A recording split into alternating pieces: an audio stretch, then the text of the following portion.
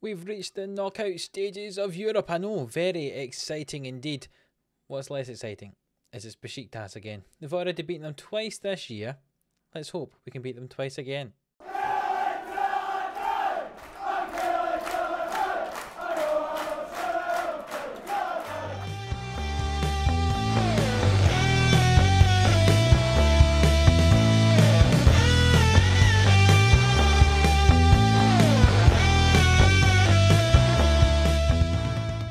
Yes, hello, welcome into 11am Sports. Here for the Killie Boys on Football Manager 21. If you're new around here, do hit that subscribe button for more daily Football Manager 21 content.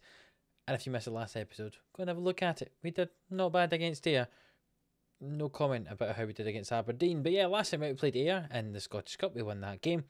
Aberdeen we lost to in the league, unfortunately, and we've played one game in between that episode and this one, and that was up against Celtic. You can see the stats in front of you there. That was a fairly even game. You know, the, the possession was, was in our favour. We had 52%. Shots 10 to 17. That was fairly close. Uh, that was a one all draw. You can see from the left hand side that we scored in the first minute of the game. Calafiore had come down the left hand side, swung across, and it hit off Ramos Mingo, who turned the ball into his own net. We went up 1 0 very early on in the game. Bello, their left back, then scored a stunning strike uh, at 22 minutes on the clock. Mamini scored a goal from an offside position, which was disallowed. And then Moise Kean had a penalty, and that was saved by Ryan Morris. And that basically was all that happened in the second half. was fairly boring. A 1 0 draw against top of the league Celtic. You can see Ryan Morris with an 8 rating. Centre backs, both the only people above 7 ratings alongside Hamill we did well defensively. I'll say that. Though I was surprised with the number of attacking opportunities that we did have in the game. But 1 0 draw against top of the table Celtic, I was happy with that result. And the way we played in that game did make me do a little change to our tactic. And we're going to stick with that from now on to see exactly what happens. We played instead of a deep line forward with a poacher. We played a pressing forward, and uh, in that game it was Harper who played there because of his pace. I chose to have him up front, he's obviously not registered for the Euro Cup 2 here. Uh, but a pressing forward alongside a deep line forward, and it worked quite well. So I'm going to play that again. And Miranda plays better as a pressing forward than Alan Graham does. So we'll play Miranda there. I'll play Graham as a deep line forward in this game against Besiktas. Hopefully, hopefully does quite well. The, the team is, is one you'll probably recognise for most of it. Uh, goal, Morris, Renan Augusto and Anderson at the back. Magalhaes on the right, and we're playing Maza at left back because Calafiore is out for up to six weeks with a back injury. It says two to four here, but it was six weeks initially, it said. So Maza gets the game at left back. Velasquez alongside Hamill in midfield. That seems to be the pairing I've went with recently. Unfortunately for Ludovic, who's playing very well, but he's fallen to the bench. Lambert on the right, Booker on the left, and Miranda plays that pressing forward, and Graham is the deep line forward. You can see on the bench, our only striker on the bench is Minamino, because unfortunately I have not registered any of the other players who can play up front for the team for this competition. Less said about that, the better. But let's get into this. We've already beaten Besiktas twice this year 3 1 and 3 2, so there should be goals. And hopefully, there are lots of goals for us in this game. Oh, and also, I didn't have a backup goalkeeper registered for the competition, so uh, I've, I've had to bring Jamie McGowan up from our under 18 teams. He's not very good, but he's literally just a goalkeeper on the bench just in case an injury happens to Morris. So we'll give McGowan a, a very large number. Let's give him 61. So here we go, about to kick off. They're playing a 4 2 3 1 formation. We're playing our now typical 4 2 4 formation with lots of attacking talent there and hopefully lots of goals. Anderson has got himself a bit of an injury, a bruised ankle, but we're going to ignore it. We'll say that he can play for the rest of the game and we're going to encourage the team here. It's a throw in on the right hand side. Magalhaes throws it in, but Lambert doesn't win it. But Velasquez does collect the ball, and is he going to switch it to the other side of the field? Hamill with it, finds Maza, who goes down that left hand side, cuts into the box now, hits it. And it's a fairly easy save for Silmani in that Besiktas goal. And now Darren Anderson is definitely injured potential foot injury, adding on from the ankle injury did have. He was our best player in the game so far, so that's a disappointing thing to see. Egan Riley is our backup defender on the bench, so he can come on and play in that left side of centre back. CJ Egan Riley has not played for us for quite a long time, so hopefully he's fairly fit. Maybe. And I tell you, we're reaching half time here, and it's been a very boring first half after I said that we scored lots of goals against them in the previous two games. We have not done that here. Take it uh, I mean, I'll take a nil nil away from home so long as we win at home. But I would quite like some goals here. And another highlight on the right hand side, it's thrown in, and Velasquez collects it and finds Renan Augusto, and he'll find Egan Riley, and it'll come out wide left here. Surely Buckert here, Mazza's on the overlap, but it's cut in field. It goes to Lambert at the back post, and that's just saved by the goalkeeper. And it's away out for a corner kick. Lambert is going to take this. He'll swing the ball into the box, and it's cleared away by Besiktas. Both the strikers are doing fairly poorly in this game, so we'll take off Miranda and we'll bring on Minamino to play up front alongside Graham for the last 20 minutes. We've kind of dominated game in terms of possession and shots, but not really done with it. I'm going to demand more from the entire team. They did not like that at all. Ortiz can come on for Lambert. I'll agree with Tim Cahill here and time is ticking down and there's not a lot happened in this game. Maybe we can do something here in the last couple of minutes, but Besiktas have the ball. It's played forward toward Guven, and Guven comes forward with the ball when he scored a goal, and we're down 1 now. And totally against it on the play, and we've totally dominated possession. We've had more shots, yet somehow now Besiktas are winning this game. Wow, I was not expecting that. That was poor. I am shocked after how well we did against them in the group stages, we were bad there. I can't even say we were bad though because we we did fairly well in terms of performance, but we lost 1 0. That's not good at all. I'll, I'll keep you updated with the game against Hearts in a couple of days' time, and then we've got the second leg of this, and we need to win it.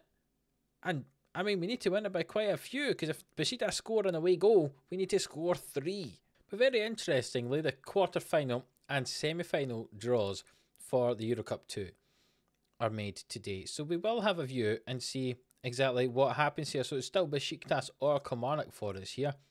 So should we beat Besiktas, we would get to play against Dnipro or Dundalk, which I assume means that we now go to the semi-final here, and between those four teams, so Dnipro, Dundalk, Besiktas or ourselves, we'd play against Borussia Mönchengladbach, Neftchi, Fenerbahce or Parma and the other four teams uh, could play against other four teams. Very interesting they make the draw so early on, so you know for a long, long, long way down the line who you're going to be playing against. But we need to beat Besiktas and we get a game against Dundalk or Dnipro. And looking at the second knockout round, Dnipro and Dundalk was a nil-nil draw, so it could be either of them. Well, this game has been very boring as well against Hearts, but here's a goal for us, a Miranda header from a Florent da Silva uh, free kick swung into the box here, and we're up 1 0 at just about an hour played. And Magallanes has given away a penalty here. It looks like Scarlett is stepping up for Hearts and he scores a goal, and that's them back to 1 all. Keep you updated with anything else that happens. And Miranda has just put us 2 1 up again. Egan Riley played the ball into Minamino here, plays it to Miranda, and there's a few kind of passes 1 2 as Miranda thrashes it into the bottom corner. We're 2 and up with 10 minutes to go. And that is full time. We've won the game 2 1. Two goals from Miranda, an 8.6 rating for him. Minamino came on and did very well on that left hand side for us, and some nice solid work from the defence, apart from Magallanes, who gave away the penalty and got himself yellow carded. But a nice 2 1 win. I'll say to the boys, that was a good win. And you can see from the league table that we are now just four points off of third place, everyone playing the same number of games we're within striking distance of third. If we get third, that's a successful season after the way we started and the way it's been so far this season. And the, the, the board really only want third. So if we can get third, which is looking like we might be able to push for, just four points behind. And remember, we will play against St Mirren and Hearts as well after the split. So we can make points on them and they can drop below us. I think it could be quite good. But let's get on with the second leg against Besiktas, where we need to win. And if Besiktas score, we need to score three goals. It could be tricky, but let's see what we can do. Right, so here we are for the second leg up against Besiktas. Remember, we're down 1 0 after the leg in Turkey. So we've made a little change. I felt as if maybe we weren't dominating the midfield enough. They had two centre mids and three central attacking midfield players and I think our two centre mids just weren't enough. So I went back to the formation we had, 4 2 3 1, and brought in uh, an attacking mid to try and sit in there to try and give us some more players in the middle of the park. And this is the team that we're going to go with. Morris is in goal, Renan Augusto and Anderson at centre back, Magallanes on the right, and Mazza on the left because Calafiore is still out injured. In midfield, we're going to go with Velasquez and Ludovic, with Da Silva just in front. Ortiz gets the game on the right because Edward Lambert is struggling for fitness. Uh, Booker on the left, and Miranda up front. We get some players like Alan Graham, Ryan Hamill, Minamino, and Lambert on the bench to come on if we need to bring them on. But hopefully, we can get a couple of early goals in this game. And if Besiktas do get one back, then we know that we still need to get a third to get through, or Besiktas will go through in away goals. So either a nice clean sheet and a 2 0 win, or a 3 1 win. So here we go. The players step out. Besiktas wearing all red and us wearing our famous blue and white stripes. And we'll see what we can do here in this second leg. Well, that first half was very boring. Not one highlight at all. And it's still nil nil. The only perk about that is we only need one goal to take it to added time or extra time, I should say. We dominated this game. 11 shots to 2, 64% possession, but we just cannot find that goal. We've made a couple of changes. We've brought off Miranda and we've brought off Bookert and we've brought on Lambert and Minamino for them here. And there's another, oh, this is the first highlight of the whole game. Besiktas with it, they swing the ball over and Morris holds on to it. And that can't be the end of the highlight. Surely we can recycle this and turn it into one for us. Morris plays the ball forward into Minamino and to Silva and Lambert's got it on the right hand side now. And he goes past his man. And can he get the shot away? Then he swing the ball in? It was all softly outside of the post. There's 20 minutes to go. We'll bring on Hamill for Ludovic, and this is the last throw of the dice. We're going to go attacking. We're going to demand more. There's 10 minutes to go. Maza throws the ball in to De Silva, but Hamill gets it here. He plays the ball over to Lambert, and oh my goodness, what a save from the goalkeeper with 10 minutes to go here. We're demanding some more. Da Silva swings in the corner, and it's headed away. Oh, that was nearly it. We are 10 minutes away from going out of Europe here if we cannot find a goal. Lambert with it. Out to Magallanes on the right hand side. Recycle from that corner. Magallanes hits it off the defender, but Velasquez gets it. Can he swing it? And he does to the back post, but it's cleared away. And there's only 10 minutes to go. As I said, we're in the attacking mentality now. And Ortiz on the left hand side with the ball goes down the line, plays it back to Maza. Can he swing the ball? And he goes across toward Lambert. But he goes all the way across the field to the corner here. Lambert back to Velasquez. Velasquez to Magallanes. Magallanes into Hamill. Hamill, Minamino, and Minamino scores the goal. His first goal since joining Kilmarnock. And he does a lovely cartwheel over to the corner flag there. It's 1 all now. And it's going to extra time if it stays like this. Velasquez back to Magallanes. Magallanes over to Hamill. Hamill hits it, bounces off the defender. And Minamino finishes in the open goal. And away he goes for his cartwheel celebration. And we are up 1 0 here, 1 all on the night. It's a tight offside, it says, but it's nowhere near being a tight offside. We're perfectly fine. And there's three minutes to go. If Besiktas score, they do go through. If we score, we go through. If no one scores, it goes to extra time. And it's going to extra time. The rules still stay the same. If Besiktas score, we need to get two because then they'd go through and away goals. Oh, this is exciting. I'm going to say I'm happy. Keep it up. And we're going to watch every single minute of this added time. I'm not sure if we get an extra sub in extra time or not. Uh, I think we do. We certainly do indeed. And there's some dead players out there. Magallanes can come off and Egan Riley can come on for him. Certainly. Let's do that. We've reached half time of extra time. We're going to start here. We could be reaching a penalty shootout, but no, there is a highlight. Can we score? Egan Riley throws it into De Silva and he gets it back and it's into Lambert. And Lambert hits it and it's just gone over the crossbar. There's 10 minutes left of added time here. And as a highlight starting from a goal kick for Besiktas. The ball played forward toward Bundu. And Bundu hits it back to Voka. And Voka, the ball out to Amrani here. But Velasquez has got it after Lambert won it back. And Egan Riley's gone down the right hand side. And he gets challenged by Amrani. He keeps the ball. Egan Riley plays it to Lambert. Lambert back to Egan Riley and Velasquez into the box and Ortiz hits it and Hamill hits it and it's just about going in. That's class an assist for Pepe Ortiz. I'm not quite sure if it is, but we've scored a goal. We've gone up 2 0 in night, 2 1 in aggregate with a goal from Hamill there. Lambert gets the ball, plays it to Egan Riley. Velasquez swings it over. Ortiz kicks it off the defender, and Hamill hits it. And Slimani saves it, but it just trickles into the bottom corner. And there's 10 minutes left in this extra time and we're up 2 0, 2 1 in aggregate. If Besiktas score, then they will go through still. We've had 34 shots to their 5. We're not going away from attacking because we're doing so well on it. And we've reached the end of the game and we are through after a dramatic extra time period. A goal from Minamino to take us to extra time and a goal from Hamill in extra time to win it for us there. 2 Now look at those statistics 63% of the ball, 34 shots to 5, 15 on target to 2 We dominated that game, and thank goodness we got through because we dominated both legs, to be fair.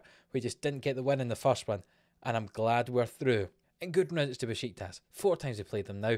We've beat them three times, but the important thing is we're now through to the next round. Let's see who we played. We played Dnipro, or did we play Dundalk? And looking at the scores here, we play against Dundalk. They scored a goal in the 88th minute to get through. In fact, they were down 2 0 after 14 minutes. They scored one on half time and then two late goals won that game. So we play against Dundalk in the next round. It's probably, I prefer to play Dundalk than Dnipro, I think, unless Dundalk have done something I'm not too sure about and see if they've improved or not. But that seems like the easier game.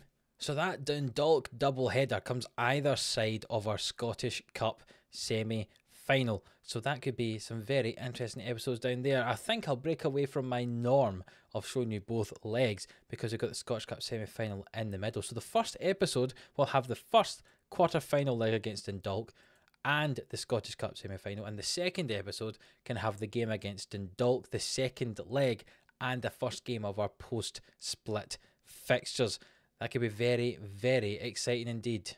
It was a very dramatic video as well in the end after that lovely 2 0 win against Besiktas in that second leg. So if you have enjoyed it, another reason to leave a like. Come on, this was a good video and there's more to look forward to. So please do support the channel by hitting that thumbs up. Subscribe if you haven't already and I'm looking forward to some more.